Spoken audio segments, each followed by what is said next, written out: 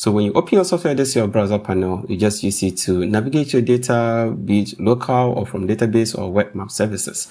If I have my data inside my D drive, I have to just drop this, drop the data, and let's drop the word folder. And we have a couple of data about the word. What we can actually do here is that if I select this word administrative boundaries GeoJSON, I can just right click and from here, you could execute it or you could even export it to a different file like GeoPackage or shape. So you could just get a new file out of a different file format without opening it in QGIS. Or you could look up your layer properties and manage other things like renaming and deleting. You could also show it in files. Just open it in your file explorer, the directory.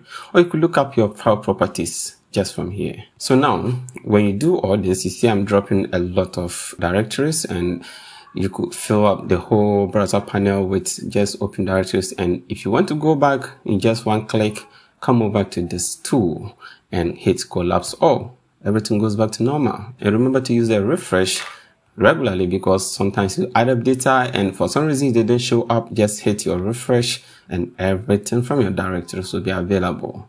Now, the next thing I want to talk about is the filter browser. Sometimes you have a lot of map providers or you have a lot of database services running here and it could be so stressful sometimes to just be going through all of this. You could hit your browser and search for what exactly you need. So maybe I wanted to go to the home. You could just search home and hit project home.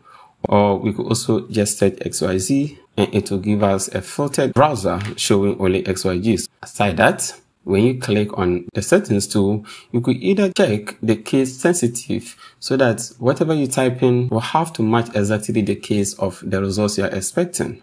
Now the next thing you can do is to use this I tool, which is the properties widget. What does it do? If you want to preview it, you just select the layer and hit the properties. Now this will open up a different widget. What it does is it shows you the metadata of the file. That's interesting. You don't need to open it up before you, you inspect all this. It gives you the metadata and above all, it gives you a preview. This the special. So you can zoom in or zoom out, of it.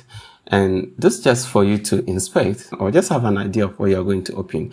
And you can also look at the attributes. This just the attribute table actually. So you can have all of the information right here without opening it.